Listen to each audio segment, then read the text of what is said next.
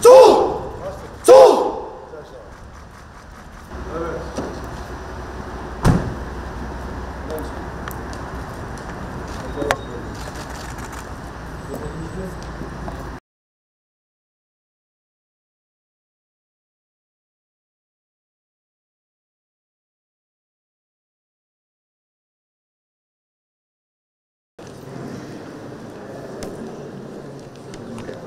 Please.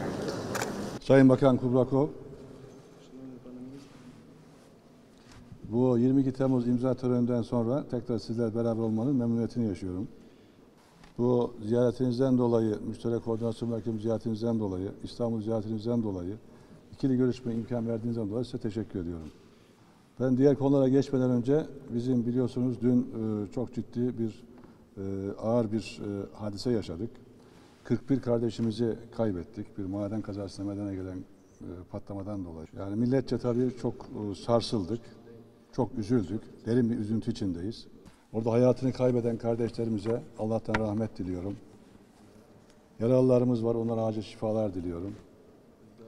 Onların değerli ailelerine ve tüm asil milletimize de başsağlığı diliyorum. Ve temennimiz, dileğimiz de inşallah bu tür olayların bir daha tekrar etmemesi. Bildiğiniz gibi e, diğer konulara geçtiğimizde e, bu tahıl konusundaki yaptığımız imzadan takriben 3 ay geçti. Bu 3 ay süresi içinde, 3 ay sürede, bu süre içinde toplam 345 gemi Ukrayna limanlarından tahıl nakliyatını gerçekleştirdi.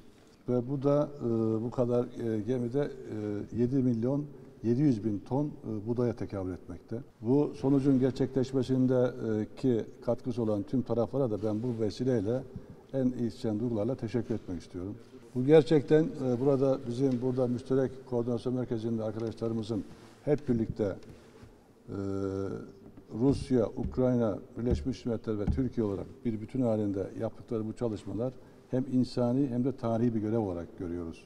Bu tahıl e, nakliyatının yapılmasıyla birlikte, gerçekleşmesiyle birlikte e, ciddi şekilde fiyatların e, düştüğünü ve herhangi bir şekilde tekrar yüklenmemesi için de gerek tedbir alman için buradaki merkezin ciddi şekilde çalışmalarını sürdürdüğünü biliyoruz. Bu Karadeniz Tahıl İnisiyatifiyle e, taraflar bir araya gelebildiler. Bizim dileğimiz, temennimiz e, bundan sonra da e, diğer sorunların çözümünde e, bu yaptığımız çalışmanın bir model teşkil etmesi. Biz her zaman e, komşularımızın sınırlarına, komşularımızın toprak bütününe saygılı olduğumuzu ve her zaman barıştan yana olduğumuzu, istikrardan yana olduğumuzu dile getirdik ve aynı şekilde politikamızı şeffaf bir şekilde sürdürüyoruz. Hepinizin bildiği gibi Sayın Cumhurbaşkanımız savaşın çıkmasından önce e, gerginliğin başlamasından itibaren savaşın çıkmaması için elinden gelen gayreti gösterdi. Daha sonra savaştan savaş çıktıktan sonra da bir an önce ateşkesin sağlanması için e, ve diplomatik yol ve yöntemlerle sorunun çözümü için gayretlerini sürdürdü. Bize de bu yönde verdikleri talimatlar çerçevesinde biz de siz bakan arkadaşlarımız da muhataplarımız bu konudaki çalışmalarımızı bildiğiniz gibi sürdürüyoruz.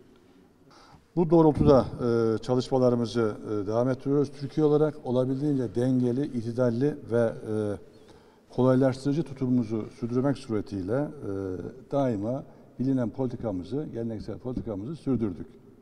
Nitekim bu e, politikamızın, e, tutarlı politikamızın sürdürülmesiyle nasıl ki tahıl konusuna bir çözüm getirebildiysek hep beraber, aynı şekilde esir değişimi de bu politikanın bir ürünü. Yani bir an önce e, barışçıl yol ve yöntemlerle sorunun çözümü için e, çalışmaların sürdürülmesi, bu yöne gidilmesi, gerginin azaltılması ve insani yardım konusunda herhangi bir aksaklığa meydan vermeden insani yardımların da ihtiyaç sahiplerine ulaştırılması amacımız bu.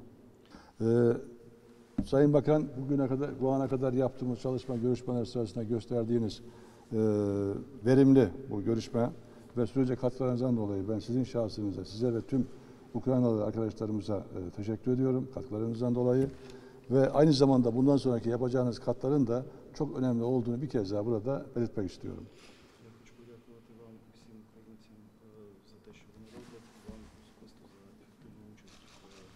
Sizin de direktifleriniz doğrultusunda, sizin de kontrolünüz doğrultusundaki buradaki Ukraynalı arkadaşlarımızla beraber çalışan bu müşterek koordinasyon merkezindeki arkadaşlarıma da teşekkür ediyorum. Katkılarından dolayı kendilerine de bundan sonraki çalışmalarında başarılar diliyorum. Teşekkür ediyorum.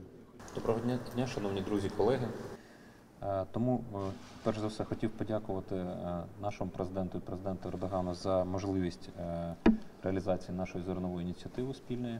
Дійсно, ми вже досягли майже 8 мільйонів тонн з початку дії зернової ініціативи експорту аграрної продукції з України. Потрібно обов'язково продовжувати. Ми всі розуміємо, яка залежність від е, нашої ініціативи та світових цін на продовольчу продукцію. Ми чітко розуміємо, що ми точно продовжимо ініціативу з результатами сьогоднішніх перемовин з міністром з нашого боку. Ми точно впевнені, що ми робимо все, щоб вона працювала. Е, Тому е, хотів би ще, ще раз дякую всім командам, які тут присутні в GCC, е, особ- особ- звичайно, команді українській, команді турецькій, команді ООН.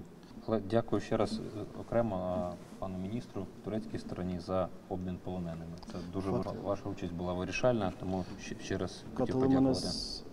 Çok önemliydi ve zaten katılımınız sayesinde oldu bu olay. Dякую. Teşekkür ederiz.